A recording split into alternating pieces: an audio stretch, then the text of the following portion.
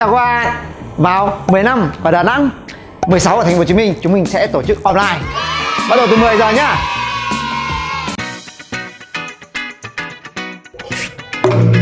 Anh giữa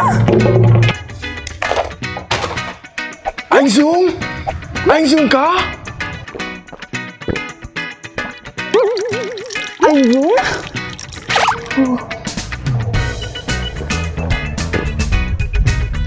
Anh Dũng Anh Dũng Anh Dũng Anh Dũng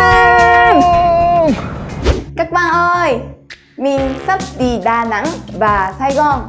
Các bạn có muốn gặp mình không? Có có có có có có có có Cô ơi Tôi có mang quà gì đi theo không?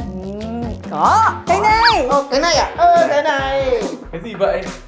Áo có in hình các chữ Hán. Rất là nhiều nhá. Ngoài ra còn có gì không? Ồ, cái này.